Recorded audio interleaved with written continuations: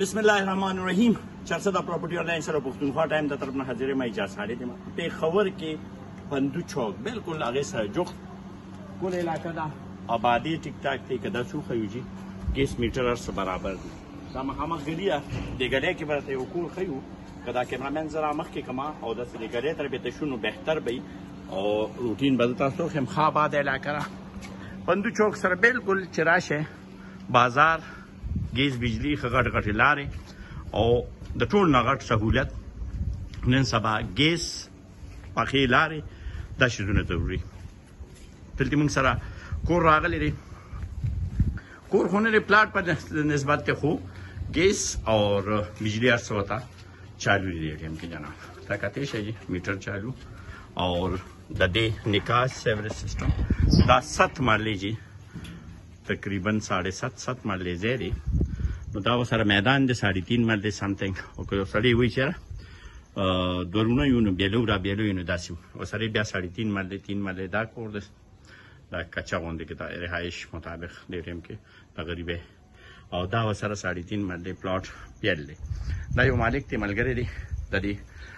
هغه خرڅول غواړي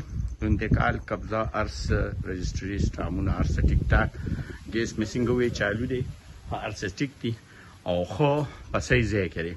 په پیښور کې پندو چوک سره بالکل د چوک سره بالکل نږدې زیب سره دی او بیا چې کوم دی د دې څلوېښت لکه روپۍ ملګري ډیمانډ کوي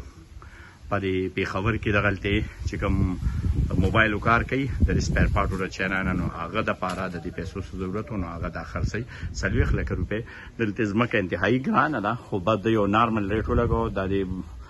دا مونږه هغه وی چې دا زبر پلاټ پر ریټ باندې خرڅوم لکه دغه خو تعمیرات خو دی خو دا بس اسې کچا خټه تعمیرات دي خختر او خټه مټه دا او کچا تعمیرات دي نو سلويخ لک روپې ډیماند کوي رابطه وسره وکي خبره وبکي کوي نمبر به ډایرک دا غاچو همیشه کوشش کوي اول نه انتقال له قبضه له بیا نور پیمنت کوي شهر کې چې خلکو تورسي چې چاته د داسې پیښور کې د پندو چوک سره بالکل څنګ پسنګ جمیل چوک نه چرامخ کې چې پندو چوک سره بالکل دا زیاري